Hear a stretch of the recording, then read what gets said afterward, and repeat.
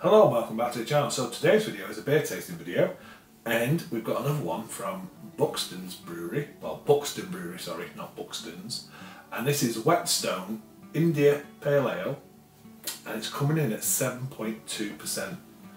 Um, you can get this beer, well you can locally to me in Sainsbury's, um, £2.50 I think it was on offer, um, possibly £3 when it's on, on not being on offer.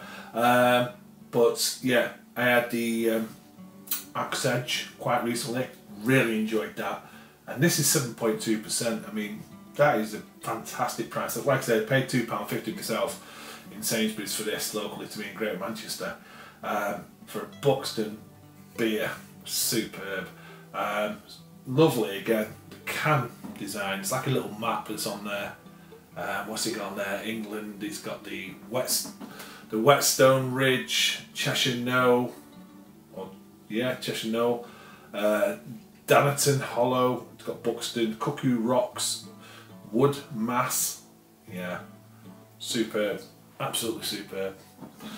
So let's get it open, let's get the, what it looks like, let's get the aroma, and let's get the taste. like I say, 7.2% India Pale Ale, I'm looking forward to this, really am.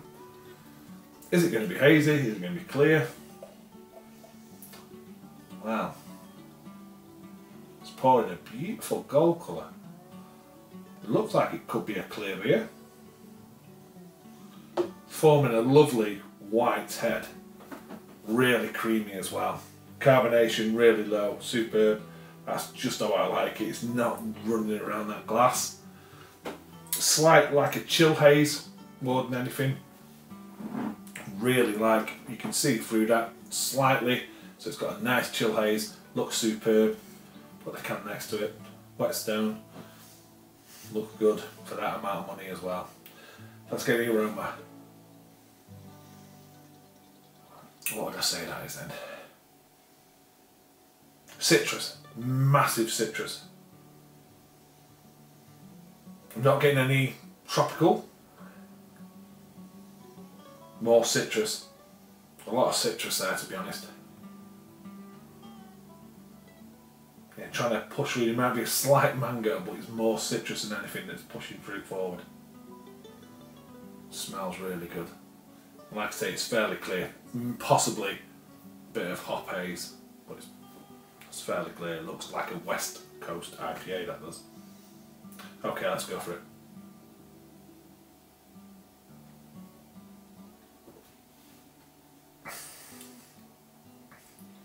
Wow.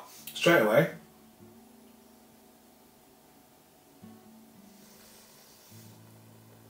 You can tell 7.2%. It's got a real good malt backbone. And it, I'm quite happy to say that that malt backbone is giving a good fight them hops. Now the hops are offering some bitterness, really nice bitterness across the palate, but you're also tasting the malt and sometimes in a really good IPA, you want to taste that malt and you can taste that malt. I'm getting caramel from that malt, which is superb. I'm getting some biscuit and bready as well, which is absolutely superb. It's, it's a superb beer, it really is.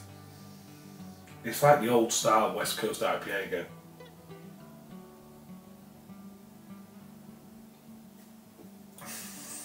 There's maltiness there's no overpowering tropical notes at all. There's citrus and then there's a lovely malt balanced taste which is fantastic. Really pleased with that. That is superb. It's a bee's knees. It's a bee's knees again from Buxton. That's a superb beer. See if I can see anything on the can. okay, Whetstone India Pale Ale, 7.2% a full-bodied and full-flavoured IPA in the West Coast style. Superb. That's exactly what it is.